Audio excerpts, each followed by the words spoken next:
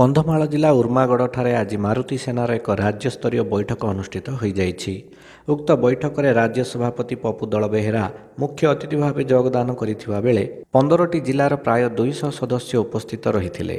ଉକ୍ତ କାର୍ଯ୍ୟକ୍ରମରେ ବିଷ୍ଣୁଚରଣ ବେହେରା ଉପସ୍ଥାପନା ଦାୟିତ୍ୱ ସମ୍ଭାଳିଥିବା ବେଳେ କନ୍ଧମାଳ ଜିଲ୍ଲା ସଭାପତି ସୁଭାଷ ଚନ୍ଦ୍ର ପାଢ଼ୀ ସଭାପତିତ୍ୱ କରିଥିଲେ। ଉକ୍ତ କାର୍ଯ୍ୟକ୍ରମରେ କନ୍ଧମାଳ ଟିମ୍ ହ୍ୟୁମାନିଟି ସଭାପତି ଲୋକନାଥ ରାଜୁ ଅନ୍ୟତମ ଅତିଥି ଭାବେ ଯୋଗ ଦେଇଥିବା ବେଳେ ଟିମ୍ର ସଦସ୍ୟମାନେ ମଧ୍ୟ ଉପସ୍ଥିତ ରହି ମାରୁତି ସେନାର ସଦସ୍ୟମାନଙ୍କୁ ଉତ୍ସାହିତ କରିଥିଲେ। କାର୍ଯ୍ୟକ୍ରମରେ ପରମାନନ୍ଦ ପ୍ରଧାନ ଇନ୍ଦ୍ରମଣି କହଁରଙ୍କ ସମେତ ବହୁ ସଦସ୍ୟ ସହଯୋଗରେ ହାତ ବଢ଼ାଇଥିଲେ।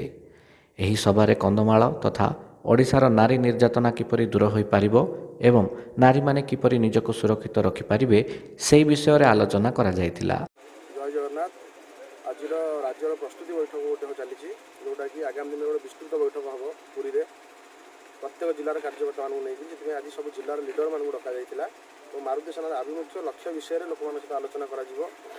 ମାରୁତି ସେନାର ଗଢ଼ି ତୋଳିବାର ମୁଖ୍ୟ ପ୍ରମୁଖ ଲକ୍ଷ୍ୟ ହେଉଛି ଅସହାୟମାନଙ୍କର ଫାଷ୍ଟ ସେବା କରିବା ଅନ୍ୟାୟ ବିରୁଦ୍ଧରେ ସ୍ୱର ଉତ୍ତୋଳନ କରିବା। ଯେଉଁଥିପାଇଁ ଆମେ ଆଗ୍ରହୀ ସଚେତନ ଜନତା ଓ ଯୁବକ ଯୁବତୀମାନେ ଏଇଟା ଆରମ୍ଭ କରିଥିଲୁ ଏବଂ ସଫଳ ମଧ୍ୟ ହେଲୁଣି। ଏବଂ ଏହାର ନିହାତି ଆବଶ୍ୟକତା ରହିଛି ଆମର ଓଡ଼ିଶା ପଚିଶ ନମ୍ବରରୁ ତେଇଶ ନମ୍ବରରେ ପଛରେ ଅଛି। ଓଡ଼ିଶା ଆଜି ଯଦି ଫେମସ୍ ସେଇଟା ହେଉଛି କେବଳ ଦାଦନ ପାଇଁ।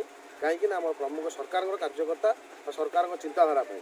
ଏହାକୁ ବଦଳାଇବାକୁ ହେଲେ ସଚେତନ ନାଗରିକ ଯୁବ ସମାଜକୁ ସଚେତନ ହେବାକୁ ପଡ଼ିବ। ସେଥିପାଇଁ ଏ ପ୍ରୟାସ ଜାରି ରହିଛି। ଆମେ ପ୍ରଥମ ଷ୍ଟେଜ୍ରେ ଏବେ କେବଳ ପ୍ରତ୍ୟେକ ଜିଲ୍ଲାରେ ଅସହାୟମାନଙ୍କ ପାଇଁ ସେବା କରୁଛୁ ଅନ୍ୟାୟ ବିରୁଦ୍ଧରେ ସ୍ୱର ଉତ୍ତୋଳନ କରୁଛୁ। ଯେତିକି ଭଲ କାମ ସେତିକିରେ ଫୋକସ୍ କରୁଛୁ। ଏବଂ ହଜାର ହଜାର ଲୋକଙ୍କ ସମର୍ଥନ ମିଳିଲାଣି। ଏବଂ ହଜାର ହଜାର ଲୋକ ଆମ ସହିତ ଯୋଡ଼ି ହେଇକି ଅଛନ୍ତି।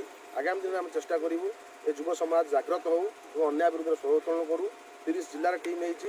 ଆଗାମୀ ଦିନରେ ଆହୁରି ହଜାର ହଜାର ମାତ୍ରାରେ ସଚେତନ ନାଗରିକଙ୍କୁ ଯୋଡ଼ାଯିବ। ଏବଂ ବହୁତ ସାରା ସମାଜସେବା କାର୍ଯ୍ୟକ୍ରମ କରାଯିବ। ଏହା ହେଉଛି ପ୍ରଥମ ଲକ୍ଷ୍ୟ ଏବଂ ବହୁତ ଭାଇ ଭଉଣୀମାନେ ମଧ୍ୟ ଯୋଡ଼ି ହେଉଛନ୍ତି।